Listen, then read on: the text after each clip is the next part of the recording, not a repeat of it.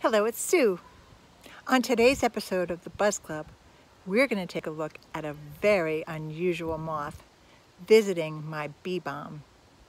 Let's go see. What does this look like?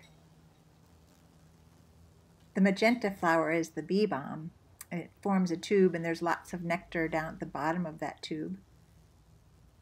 But this moth looks like a hummingbird, doesn't it?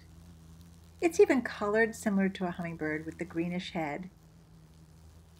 It hovers, beating its wings so quickly, just like a hummingbird. And yet it has scales made of chitin, a very hard substance, not feathers.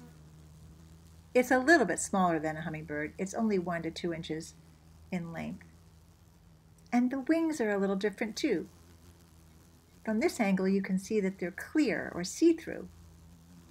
And that makes this moth a clear wing hummingbird moth in the genus Hemaris.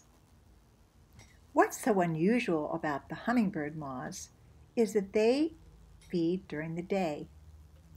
We call this diurnal. Most moths come out at night and are nocturnal. But this hummingbird moth acts so much like a bird in many, many ways. When two organisms come to resemble one another so closely but come from different ancestors, we call this convergent evolution. See you next time.